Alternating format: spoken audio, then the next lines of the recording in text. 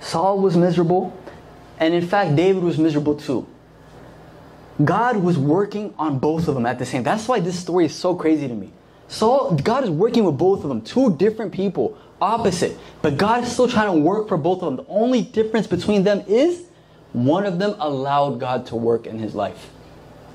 That is what differentiates Saul and David. They both sinned on the outside. They both did wickedness. They both did evil. In fact, David did more. What made him different is that one of them allowed God to work in his life. What does it mean to allow God to work in your life? It means listening to that voice, that conscience, telling you to go to church, telling you to pray, telling you to repent, telling you to confess, telling you to forgive. That is what it means to let God work in your life. But how many of us are just like Saul? I'm not going to forgive that person. They did this to me. You're not letting God work in your life. I'm not going to church. I'm not ready for it. You're not letting God work in your life. I'm not going to pray. I'm not ready for it. You're not letting God work in your life.